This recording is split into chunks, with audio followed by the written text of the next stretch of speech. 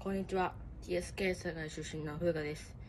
毎週土曜日は西原公園で練習をしていますか僕からも電気を届けます。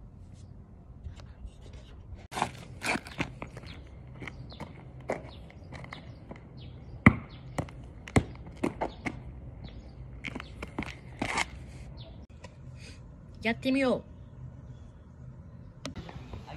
はい、こんにちは。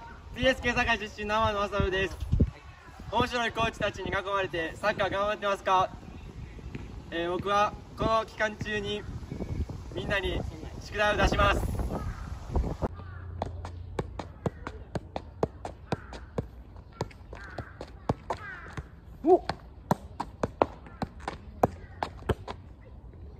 やってみよう